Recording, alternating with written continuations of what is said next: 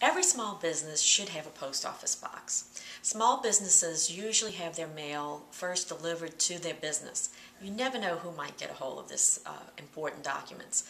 It could be your employees, passerbys, maybe even your customers. These, these documents, even though in today's world we do a lot through email, still things come through that mail that you want to be able to get a hold of. It's a good way of safekeeping it. You know who's going and getting hold of your mail.